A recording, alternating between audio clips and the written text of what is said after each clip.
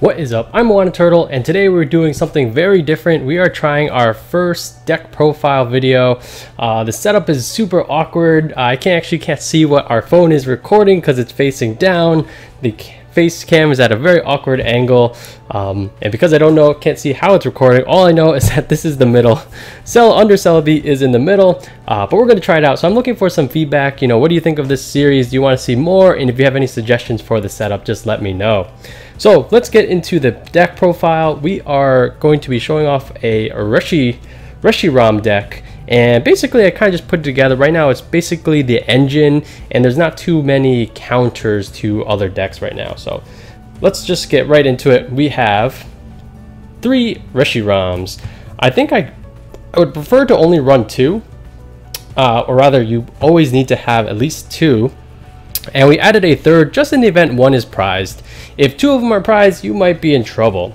So one interesting, I feel like one difference my deck versus a lot of other Reshirams is that I don't run any kind of, or no, I run a single acceleration card, which is End's Resolve, and we only run one of just because um, we're running one just to try it, but I kind of want to take it out eventually. I don't feel like ramp is necessary because with uh, Reshiram, you're ramping up to two. So the let's say if you want to run welder and you have like three of them you know it'll be useful turn one and then that's it but the obvious target or partner for Reshiram is Naganadel so we have four Poipole and four Naganadel if you're not familiar with this card basically Naganadel can use its ability charging up take any energy from your any basic energy from your discard pile and attach it to Naganadel that works perfectly with fabled fire bolts flare bolts, and which essentially discards uh, electric or fire energy from your bench, and for each energy you discard does 90 damage. Uh, one thing about End's Resolve is like it does give us the potential to use Crossbreak GX, but honestly I've never used it yet.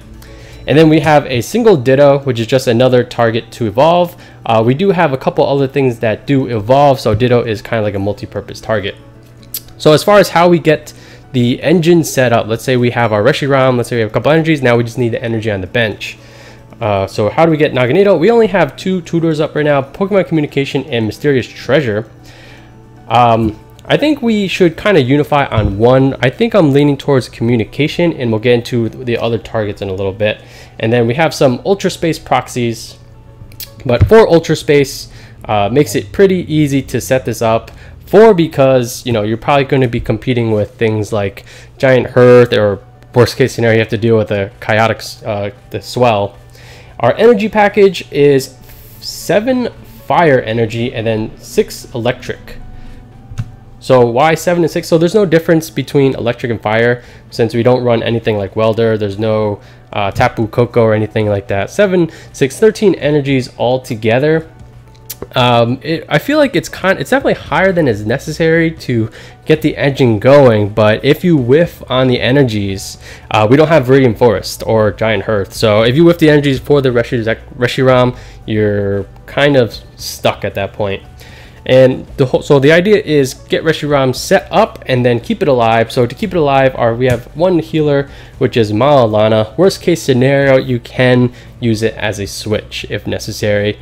Um, but this is pretty good. Uh, you do have to discard two cards, but we have basically, or majority of the rest of the deck is actually just card draw. We have two super scoop ups uh, to basically reset your Reshiram. Yes, you do have to put the energy back on it again. Uh, so that's kind of, you know, non, not exactly ideal.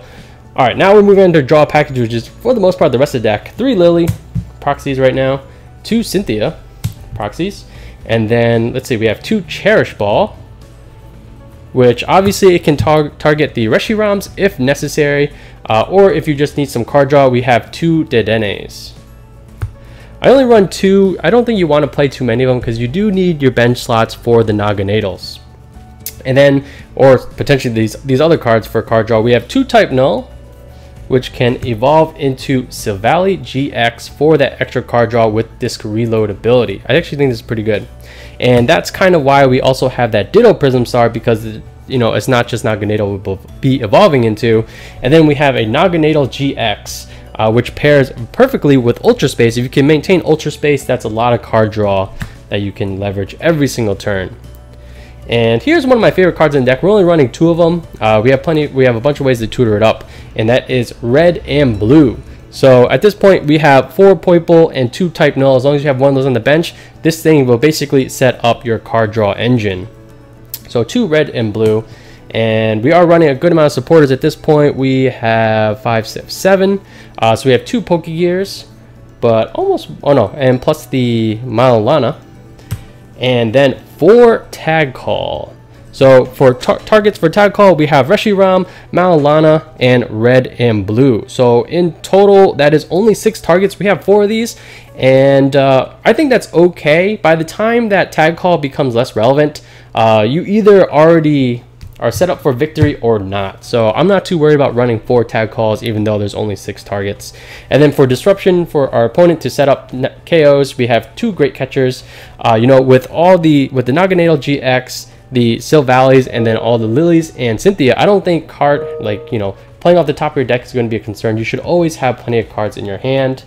And then lastly, we have a switch just a one of. Um, you know, I'm not sure we need it, but every once in a while there's a situation where, oh, you know, you didn't have anything, you had to start Dedenne or something, and we just need an efficient way to get, get that back into the bench. So that's it for the Reshiram deck.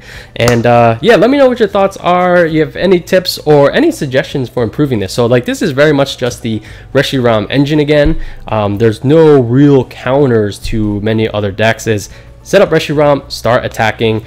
If you're in a bind, you can use Silvally to fight because we have plenty of supporters, but that's not ideal, especially when, you know, we don't even have DCE for that. So, um, you know, your main attacker will be Reshiram. So, yep. Um, as always, guys, let me know what your thoughts are in a comment down below and give me some feedback on this series. You want to see more of this? And uh, thanks for watching, guys. I'm Moana Turtle, and I'll catch you guys next time.